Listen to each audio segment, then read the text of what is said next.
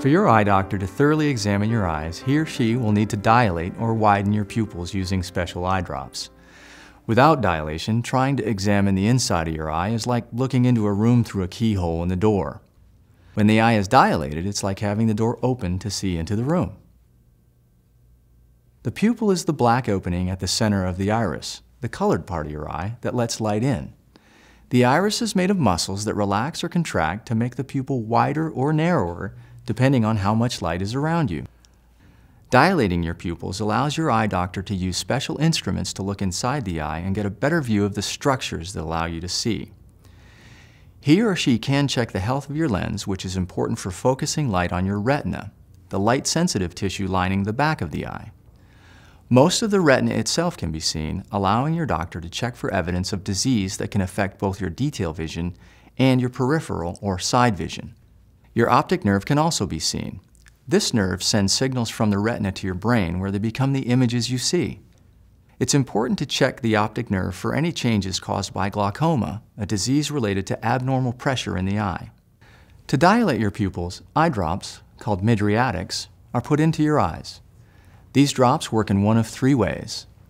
They temporarily paralyze the muscle that makes the pupil smaller they stimulate the muscle that makes the iris, the colored part of the eye, widen, or they keep the pupil from adjusting naturally to allow focusing, called accommodation. Dilating eye drops may be used for reasons other than eye exams. For instance, your ophthalmologist will need to dilate your eyes to perform some types of eye surgery. In some cases, drops will be used after surgery as well to keep your pupil wide so scar tissue won't form. Sometimes your eyes may be dilated to relax your lens's muscles so your eye doctor can measure properly for your glasses prescription. And eye doctors may use dilating eye drops in children who have amblyopia or lazy eye. The drops are used to blur vision temporarily in the child's stronger eye, forcing the brain to use the weaker eye. Once eye drops are put into your eyes, it can take anywhere from 10 to 30 minutes for your eyes to become fully dilated. People with light-colored eyes, including blue, green, and hazel, usually dilate faster than people with brown eyes. Dark-colored eyes, however, usually won't stay dilated for very long, whereas light-colored eyes may stay dilated for up to 8 hours. Eye doctors often use stronger dilating drops in children to be able to examine them more accurately. For that reason, some children may still have dilated pupils the morning after their exam. When your pupils are dilated, you will be sensitive to light. Your vision will be blurry and you will have difficulty focusing on close objects. Your eye doctor cannot predict how long your vision will be affected, though the effects can last for up to several hours.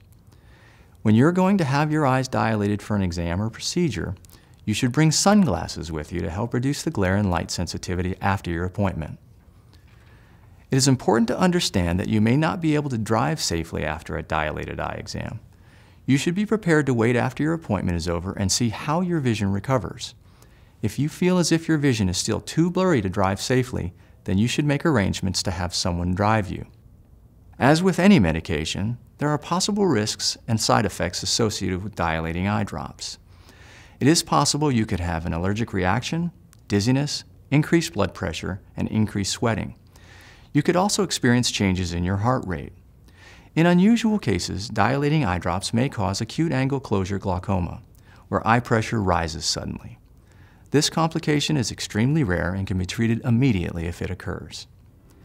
If you have any questions before or after a dilated eye exam or procedure, be sure to speak with your eye doctor.